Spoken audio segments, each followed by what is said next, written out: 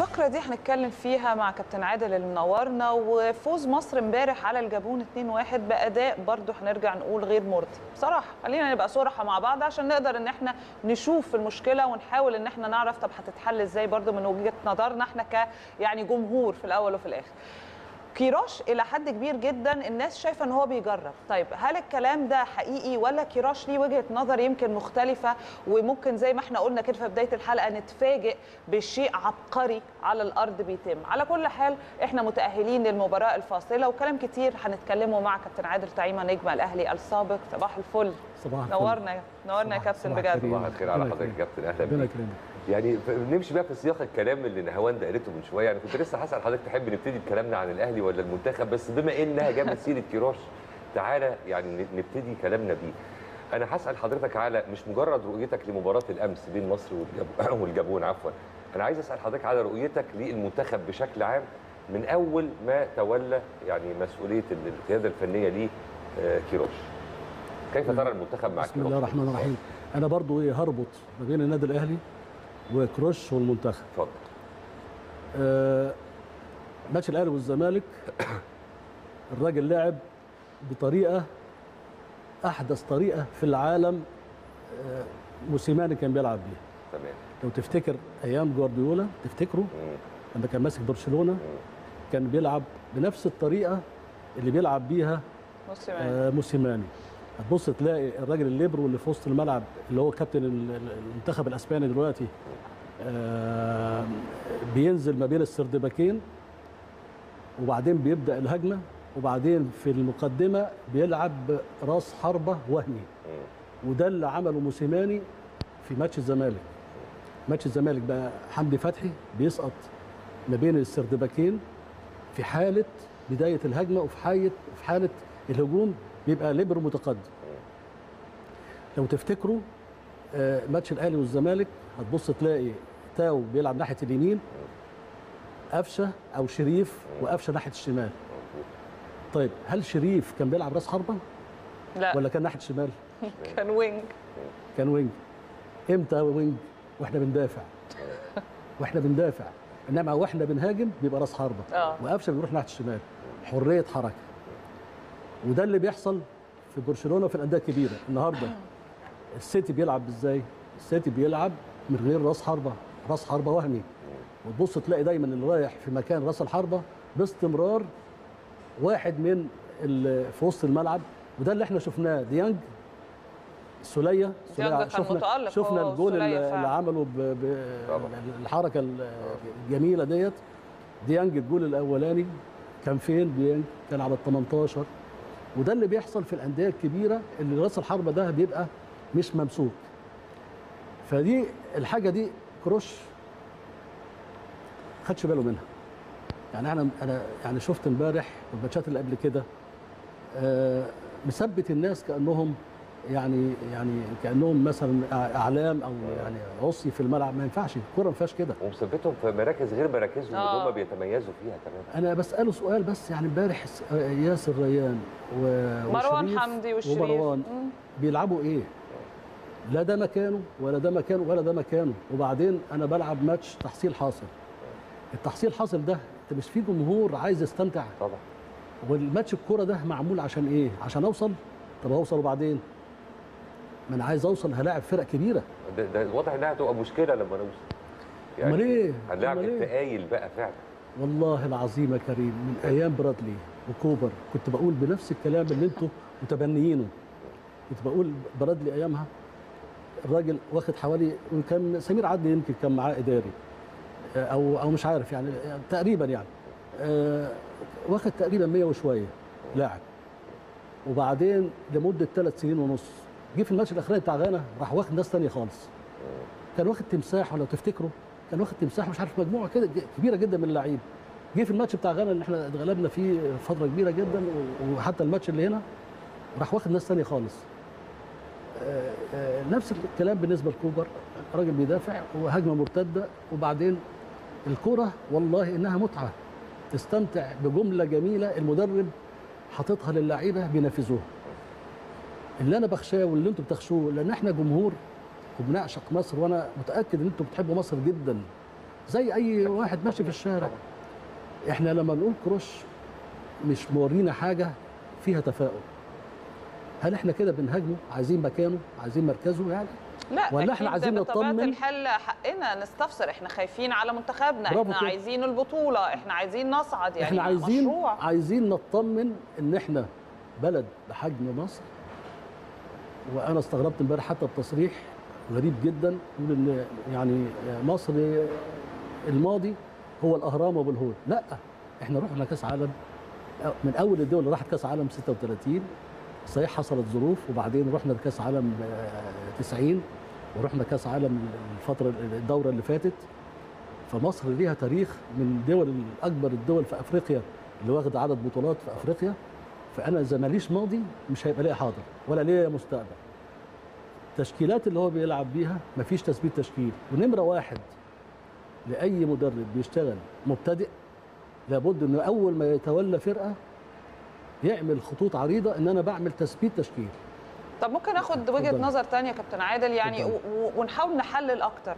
ممكن آه، آه، ناس تقول لك هو ما بقالوش فترة طويلة وهو لسه بيجرب وحتى هو صرح قال أنا عندي 40 لاعب أنا بختار منهم 11 ولسه الدنيا ما وضحتش قوي لسه عندنا أربع شهور كمان أو ست شهور تقريبا كام؟ أربع شهور لغاية يناير أمم أفريقيا هيبقى أربع شهور. فالراجل لسه الدنيا ما سبتتش عشان هو يثبت تشكيل هل حضرتك بتميل للرأي ده برضو لا، لا. ولا ده مش مبرر أصلا؟ لا لا لا. الراجل آه، المدرب اللي أنا بت... اللي أنا جايبه بديله دولارات كتيرة قوي.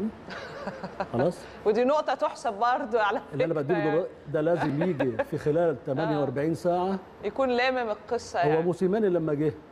آه كان متألق جدا بصراحة. من أول يوم عمل إيه؟ آه لا تحسب ليه. تحسب ليه ده جدا مدرب مدرب. وبعدين شوف الفكر بتاعه. وفي في أي مدرب في الدنيا بيلعب سبع بطولات بياخد منهم خمسة وفي آه، فعل فاعل في دوري وماتش آه، اللي إحنا شفناه بتاع آه، طلائع الجيش. راجل اللي واخد كل البطولات دي وبيروح ياخد ثالث عالم وبطولتين أفريقيا. راجل بيشتغل مع الجهاز مع الإدارة إدارة مع جهاز. للأسف اللجنة اللي بت- بتدير ودي برضو من الحاجات اللي إحنا مشفقين عليها لأن حضرتك ما ينفعش بلد باسم مصر وحجم مصر يبقى اللي بيدير اتحاد الكورة الفيفا. ده لو إحنا جزيرة أي جزيرة في العالم بيديرها اتحاد كورة وطني في البلد. طبعا. إحنا بقالنا سنتين ونص اللي بيديرنا الفيفا واحدة في الفيفا بتديرنا وبتعين الناس. فطبعا دي الأمور دي لما القيادة تبقى يعني أنا النهارده برضو يعني عايز أطمن على على منتخب بلدي واللي حضرتك بتقولي عليه إنه بقاله شهر. طب تخيل الراجل بتاع تشيلسي جه في نص الموسم واخد بطولة أوروبا. آه. موسيماني لما جه وأقول لك عشرات من المدربين بلاش أتكلم عن نفسي. بياخد فرقة وبعد 20 يوم دوري ممتاز ومفيش فرقة. المصريين فيهم الخير وفيهم العقلية وفيهم العبقرية محتاجين إنه ياخدوا الفرصة. فأنا كروش طالما أنت راجل محترف وعندك سي في عالي جدا زي ما أنت بتقول إن أنا الماضي أنا ما بحكمش عليه. خلاص وإحنا كمان الماضي بتاعك مش هن مش هنحطه مش هنحطه نقطة معانا. برضو دي. أنت بتقول إن أنا مصر أهرامات وأبو الهول. والله ثلاثة أنا يعني هو قصده كده ولا كان قصده؟ عشان إحنا حصلنا قبل كده يعني على ك... في كذا مرة. يعني هو قصده على إيه؟ يعني ما ممكن يعني يكون هو- هو- أنا ما فهمتهاش عشان أهرامات وابو على هو فكرة. قال كده. قال هو كده في قال المؤتمر التاريخ ليس له علاقة ب يعني بال- بالماضي. آه. الأهرام وابو الهول هو قال اهرام وابو الهول تحديدا إحنا كنا آه. فاكرين على المستوى بتاع المنتخب يعني قال لو الأهرام أبو الهول والهول. مسك المنتخب هيعمل شغل. والله العظيم على ذكر الماضي يعني طالما آه. بقى بن- بنقول طب قول لي امبارح. التغييرات اللي لو أبو الهول مسك المنتخب هيعمل شغل يا كابتن عادل أقول لك يا كريم على تغيير امبارح لو يعني لو طبعا ما عندناش عمل تغييره في الدقيقة 92 و34 جزء من الثانية بيغير محمود علاء وهو بيترعش خايف إن كان في فاول من نص الملعب والراجل بتاع الجابون هيرفعها فعايز يعمل تغيير عشان الثواني دي تخلص. لما أنا آه، قاعد على الدكة أو أنا كلاعب في المنتخب أو أنا كجمهور أنا لاحظت إن الراجل متوتر جدا. إذا أنت متوتر هتدير إزاي؟ التوتر ده يبقى مع واحد ضعيف مش واحد عنده الخبرات الكبيرة قوي دي اللي أنا بلاعب الجابون وماتش تحصيل حاصل وبعمل تغييرة محمود علاء استلم آه، آه، خد الكورة لم- لمسها ما لمسهاش عيب انت بتضيع وقت في ماتش زي ده وهم 10 تفسر ده بإيه؟ يعني حد كل الأدلة والبراهين بتؤكد إن هو عنده تاريخ مشرف وإنه مدرب مخضرم. ليه مش شايفين ده منعكس في أداء منتخبنا سواء في ماتشين ليبيا و- بص انتهاء بمباراة الأمس. أربع ليه- ليه مباريات اهو لحد؟ دلوقتي شوف يا كريم في أحيانا مدربين بيبقى الوكيل بتاعهم شاطر وبيعرف يسوقهم كويس. آه وفي مدربين مثلا زي جوزيه. جوزيه لما جه النادي الأهلي هل كان ليه خبرات وليه CV جامد ولا حاجة؟ كان CV ولا حاجة تقريبا.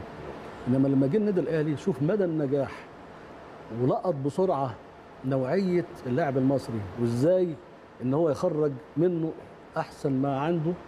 وإزاي عمل توليفة خد بيها كمية بطولات طبعا. أعتقد 24 بطولة نهاوند 24 بطولة عملت طفرة بحيث إن إحنا كنا بن يعني في فترة كنا بننافس برشلونة وريال مدريد في ال- ال- الأندية اللي هي آه، عدد البطولات عدد البطولات طبعا.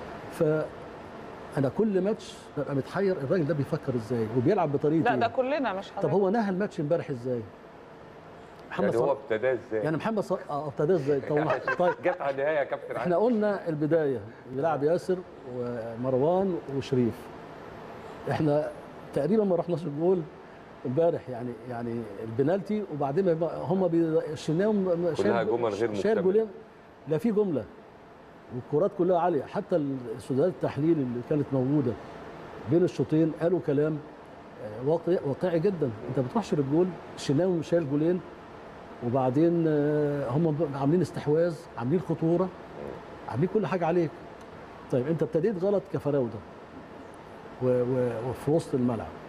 والفريق اللي جاي لك آه، مش جايب حد معاه من النجوم. كل النجوم بتوعه آه، ما جوش معاه. طب ونهيت إزاي؟ مصطفى فتحي مع محمد صلاح نزلهم في توقيت مع شريف. أو طلع شريف وبعدين مروان. طب كانوا بيلعبوا إزاي؟ ما أنا برضو كراجل في مهنة عايز أفهمه هو محمد صلاح كان بيلعب فين. على الطرف ولا مصطفى فتحي اللي بيلعب على الطرف؟ أو الاثنين عندهم نفس الملكة أو المهارة إن هو بيلعبوا على الطرف من ناحية اليمين بيشق لجوه وي- ويأدي. طب في وسط الملعب طب التغييرات؟ يعني كلها حاجات أنا الحقيقة ما توحيليش بالاطمئنان. يجوز إن أنا مخطئ. أتمنى إن أنا وانتوا وكل الشعب المصري نبقى مخطئين علشان إحنا بنتمنى الجهاز ده ينجح عشان في الآخر إحنا طبعا طبعا. في الآخر إحنا مصريين عايزين نروح كأس عالم ونبقى مشرفين. أنا قلت لسه من يومين ثلاثة المدير الفني اللي يكسب ليبيا رايح جاي وياخد مكافأة أنا ما أعرفش كتب كده. آخد مكافأة إزاي؟ ده أنا لما أروح كأس عالم وأوصل كأس عالم. وبعدين اخش في دوري المجموعات واعدي دوري المجموعات ادي مكافاه يبقى أنا دخلت بقى دور ال 16 طبعا حققت إنجازات بالفعل. لأن أنا برضه باخد مرتب كبير. فمش معقول ابدا إن أنا أكسب ليبيا رايح جاي وأنا مرتبي كبير وأخد لي شهرين ثلاثة لا لو أنت بتدفعهم من جيبك ماشي. المفروض الشهرين ثلاثة دول يتوزعوا علينا بقى كمشجعين عشان حرقه الدم اللي اتحرق ده. يعني والله أنت أنت. هل أنت استمتعت أو أي مش إحنا الناس اللي بيقابلونا في الشارع. هل في حد اتبسط من الأداء في كل الماتشات اللي إحنا لعبناها؟ لا هقول لحضرتك حاجة يا كابتن عادل. طبعا أربع ماتشات ما, ما, طلعناش من مباراة منهم يعني سعداء بأداء أو نتيجة مع بعض. يعني ممكن يكون بنتيجة مرة لكن نتيجة وأداء أكيد ده مش حاصل. بس هرجع تاني وأبص في اللي جاي بقى. لأن خلاص أنا حللت الفترة الحالية. خلينا نبص في اللي جاي المباراة الفاصلة. إحنا بنتكلم تاني أمم أفريقيا خلاص في يناير والمباراة الفاصلة في مارس. بنتكلم في أربع شهور يعني زي ما أنا كنت بقول. آه، المباراة الفاصلة بتت... أو بتتخيلها هيبقى شكلها عامل إزاي برضو؟ يعني إحنا هنكون إزاي؟ ومفروض نبان بصورة عاملة إزاي برضو كابتن عادل؟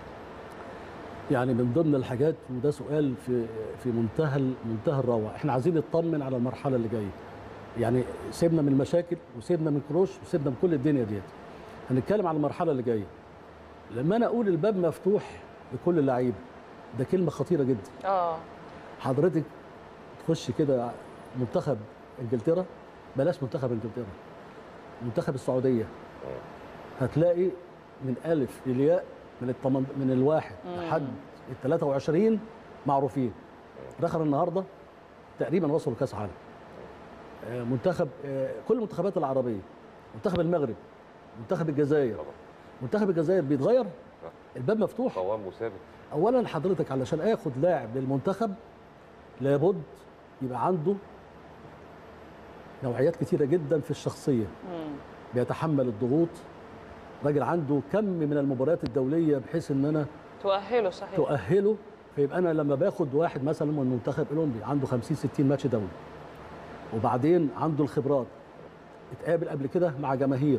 أو كراجل محترف الناس بالنسبة له لما يروح كأس عالم دي بت بتقد بتعلي من قدره. وما يبقاش مخضوض من المنافسين الأقوياء. ولا يمنع إن أنا لو في حد بارز قوي كويس قوي إن أنا آخده في سن صغير علشان يبقى المنتخب أو النادي أو أي حتة في العالم الفريق بيتكون من ثلاث عناصر. عنصر خبرة وده لازم يبقى في الفرقة طب. وعنصر شباب وخبرة. اللي هو في ال 26 سنة 27 سنة. وعنصر شباب. زي ال- ال- اللي حضرتك بتشوفهم كده حمدي فتحي والولاد دول. وبعدين بقى ال- المجموعة الثالثه زي صلاح محسن اللي هم الشباب اللي هم واعدين و- بقى. آه، اكرم وك- وهكذا. فكل يبقى أنا بكون المنتخب بتاعي بالشكل ده. ده اللي إحنا عايزين نشوفه منه وبعدين التصريحات بتاعته يبقى فيها control. يعني أنا لما أقول الباب مفتوح لا أنا لما أشوف منتخب أسبانيا أنا عارف منتخب أسبانيا قبل ما يلعبوا. لما منتخب انجلترا أنا عارف منتخب انجلترا. بلاش الدول المتقدمة دي قوي الدول العربية بدء تونس. مش معروف منتخبها بالورقة هيقول لك والقلم. ما هم ما غيروش الم- المدير الفني بتاعهم زي ما إحنا غيرناه يعني. حضرتك أنت لما بتروحي شغل بتبداي من الصفر؟ يعني أنا يا نهاوند أنا جاي أشتغل في نادي الأهلي أبتدي من الصفر؟ لا مفروض أبتدي من المستوى اللي أنا رايحاه يعني. يكون عندي الخبرة اللي تمكنني أبدأ من المستوى اللي أنا رايحاه. موسيماني لما جه قال إيه؟ أنا قريت تاريخ النادي الأهلي. قريت تاريخ النادي النادي الأهلي كويس قوي وأعرف اللعيبة كويس قوي على الرغم إن هو ما نزلش معاهم تمرين آه. لكن شافهم من سيديهات ولعب ضدهم فعارف وقاري. إنما أنا أقول الباب مفتوح وبعدين ما ببتديش من الصفر. انت أنت بتمرن منتخب مصر. منتخب مصر يعني حتى منتخب إيران لا يقاس بمنتخب مصر كتاريخ. منتخب السعودية لا يقارن. مش عارفة. ليه جالي سؤال دلوقتي كده. يا أمور. سؤال قوي. اتفضلي.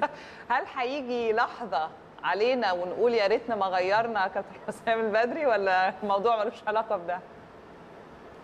والله شوفي الاعتبارات الاعتبارات آه أنا كنت بتمناها. آه.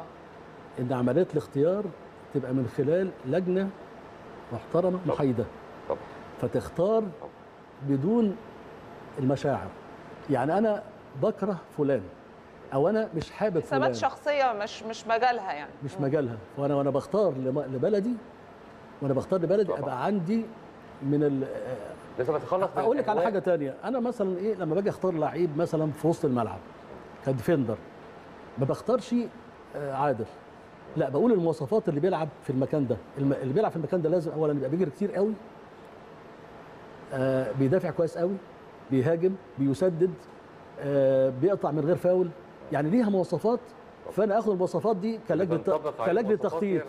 وبعدين أنا عايز أشتري فلان. زي ديانج كده. إحنا اخترناه اخترناه بناء على إيه؟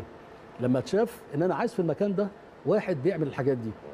بيقطع بيشوط بي بي آه، لياقته البدنيه عالية. سنه صغير آه، أنا بشتريه برقم وهبيعه برقم. كل الحاجات دي أنا بحطها وأنا بشتري لاعب. وكذلك للمنتخب. ما ينفعش ابدا المنتخب يبقى حقل تجارب.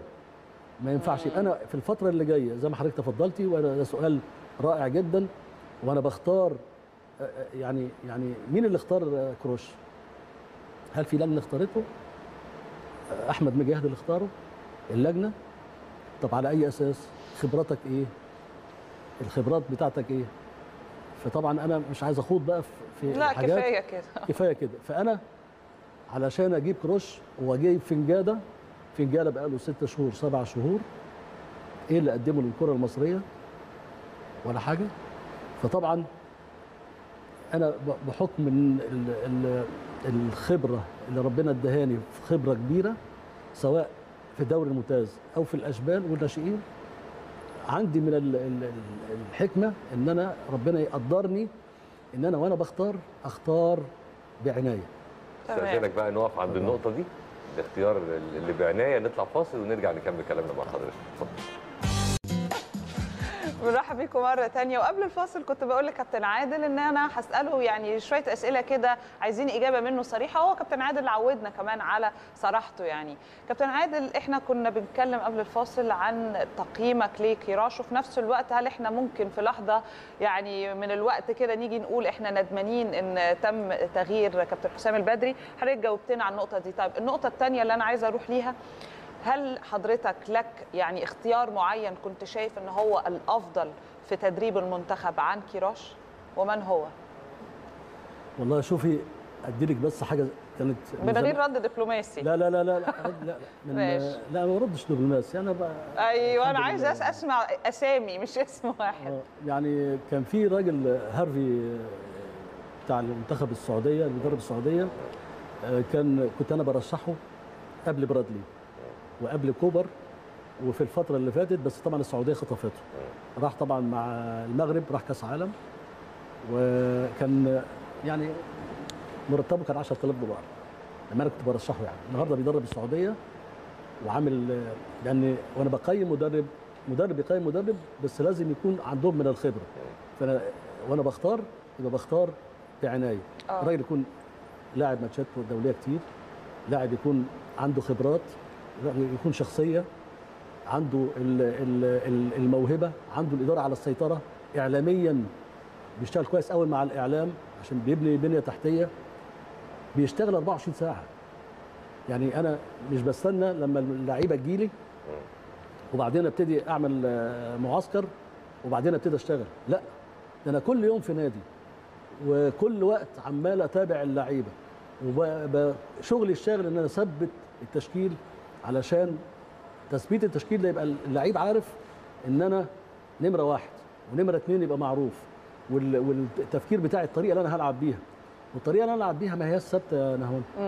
الطريقة دايما زي موسيماني برضه بيعمل. بص أوقات بيلعب على المرتد أوقات تانية بيلعب 4 2 3 1 مم. الماتش اللي فات ماتش 4 الاهلي في المدرب لازم عنده المرونة. مم. كان في فترة من الفترات كان في مترشح السؤال بتاعك. أيوه. كان مترشح أربعة. آه، الأسامي اللي أنتوا عارفينها على طب ما نقولها تاني طالما إحنا عارفينها إيه المشكلة؟ ما الناس عارفاه ده كان أظن إيهاب حسام البدري. حسام حسن. حسام حسام حسن آه، حسام البدري. وأظن كان في واحد آه، رابع. طيب لما نقيس الخبرات في اللعب وفي التدريب وفي الشخصية و و إلى اخره نقول إن حسام حسن ال- حسام حسن. الحسام كابتن حسن حسام هو حسن. المفروض إن هو مم. اللي يبقى أكتر. لكن اعتبارات كتير الحقيقة آه. يعني كلاعب راح الأردن عمل معاهم طفرة غير طبيعية. في الفرق مع المصري داخل في لا وكاريزما وروح وبي يعني هو- هو ليه وضع شديد الخصوصية الحقيقة. كان بيس أحيانا بيتقال عليه إن هو في عصبي أحيانا يعني. أخطاء وعصبي وأنا معاهم في الموضوع ده. أحيانا كان في وقت من الأوقات كان أعصابه بتفلت منه في الفترة اللي فاتت ابتدى بقاله سنتين ثلاثة لما راح المصري في في control إلى حد كبير فأنا عشان أكون كاره فلان أو أنا مش حابب أتعامل مع فلان لاعتبارات والمكان ده المبنى ده يعني يعني ياما في ناس يشهد هي على كفاءة عالية جدا وترشحت للمنتخبات وما اتخذتش لأنها عايزين مدرب بيه مواصفات. مم. والمواصفات دي لا يتحملها راجل محترم. لا يتحملها رجل محترم. فبالتالي هتبص تلاقي اللي بيدير دايما عايز نوعية معينة مش شخصية آه، حسام حسن أو أو أو حسام البدري. لما بيروح أي حتة مع النادي الأهلي عمل بطولات فلما بتروح أفريقيا الناس عارفاك بتشوفك سواء في النا- مع نجوم النادي في مجالهم يعني. نجوم في مجالهم. طبعا. لما أنا أقارن حسام حسن بإيهاب جلال إزاي؟ أي حسام منطق حسن بمين؟ بإيهاب جلال آه مع أي. منطق أي منطق يعني إزاي يعني؟ كلاعب ولا أيوة. كتدريب ولا ك ك ده راجل عميد لعيبة العالم راجل راح آه، ثلاث مرات كأس عالم هو. وابراهيم كظهير يمين منتخب العالم فأنا ال- الولاد بلاش حسام هجيب مدرب أجنبي المدرب اختاري- أختاره بعناية. أنت محتاج لا- ولادك على أعلى مستوى. يعني محمد صلاح. عندنا 100 محمد صلاح. بس عايز اللي يطلعهم طب. ويهتم بيهم. والله الشعب المصري مليان يا كريم. كل- إحنا كل مصنع. المجالات إحنا مصنع حقيقي. كل يوم. في إنتاج جديد يعني. ماسك قطاع الناشئين من ثلاث سنين أو أربع سنين. عملت جولة كده في المحافظات اختبارات. رحنا حوالي 18 محافظة. شفت ولاد؟ آه طبعا والله طبعا شفت ولاد؟ لا تقول لي ميسي بقى ولا بتاع. الولد تحس إن عينيه مش هنا. عينيه بتلف حوالينه وقد كده. وبعدين بيعمل المهارة. مفيش مدرب علمه. طبعا. هو بالفطرة. الموهبة. دي ربنا مديها له. محتاج العين اللي تشوفه علشان تديله ده. صح. فسؤالك القوي أنا جاوبت عليه وبأمانة. مش عايز حد يزعل مني. أنا بقول ده لوجه الله. إن أنا شايف إن وأنا بختار الكفاءة بختارها علشان منتخب بلدي يوصل للمرحلة إن أنا فيها فعلا أروح كأس عالم وأنا قلبي زي الحديد. ما يبقاش رايح خايف طبعا. وأنا بلاعب السعودية أو بلاعب اورجواي ال- المنتخب الأردن مع حسام إبراهيم مع اورجواي متعادلين معاهم في اورجواي شغل حلو. عاملين شغل واصلين آه، تصفيات كأس عالم وحاجة آه، يعني قمة مع مع الاتحاد مع المصري مع كل الأندية. عموما أدينا هننتظر كده كده لا نملك غير ال- الانتظار وهنشوف ال- ال- الفترة الجاية هيحصل إيه يا إما ربنا ينفخ في صورتنا يا إما هنتشل كلنا كشعب. لا بعد الشر. لا لا بعد لا لا لا. هم يعني أي حل تاني غير هيبقى ربنا أحسن من أي حل؟ لا نتشل. لا. إحنا ما نتشلش. لا هو هو ال ال ال ال وينفع منتخب مصر يبقى عرضة للنوع ده من الكلام يا كابتن عادل؟ أقول لحضرتك إيه بس على كل الأحوال. إحنا الوقت المتاح لينا يا دوب نلحق الخير إن شاء نشكرك. الله. إن شاء الله يا على على كابتن وجودك عادل. معانا نورتنا النهارده. نشكر حضراتكم كمان على متابعتنا الأسبوع ده كله. مش بس حلقة يعني النهارده الأسبوع كده انتهى ويتجدد اللقاء الحد الجاي بإذن الله واللي جاي أحسن. يا رب. باي باي. يا رب.